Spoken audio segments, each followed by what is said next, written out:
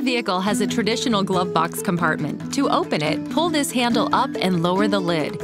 When you want to lock or unlock the glove box, use your mechanical key. For the safety of your glove box contents, the intelligent key cannot be used to unlock the glove box.